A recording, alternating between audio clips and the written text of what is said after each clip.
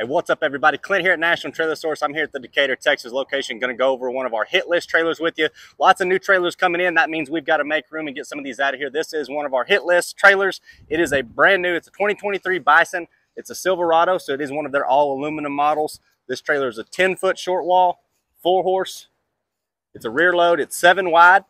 So you can see this one has the white skin on it, black top rail, power awning, super sharp trailer, black wheels. This one does have drop windows on your head and tail side. It is a rear load. You got a collapsible tack over here, bridle hooks, brush tray on your door, saddle rack. This trailer is lined and insulated there on the inside. You've got pop-up vents, dividers, stud panel on that first stall. It's lined, kick wall all the way around, as well as an insulated roof.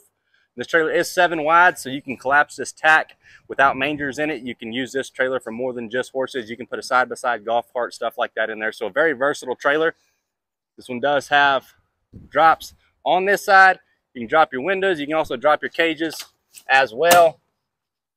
Trailer does have an escape door on it. Also, once again, this is a 10-foot LQ. Got a Bulldog coupler on it, spare tire, propane tanks, everything underneath here. Trailer does have an EQ hydraulic jack on it. So that makes it really nice.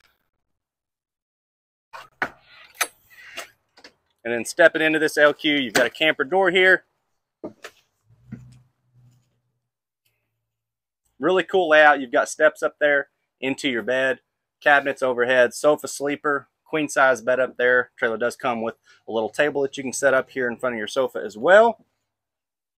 This one does have a bigger 6.0 fridge in it, double sinks, recessed cooktop, hood, microwave, lots of cabinet storage in here, as well as your toilet, closet, pass-through door to your horse area, as well as a shower here. So this is just one of our hit list trailers. Lots of trailers coming in. That means we've got to make room and do some reductions on these trailers. So this is just one of one, the ones that we've got in stock. Give us a call. We'll be happy to hook you up.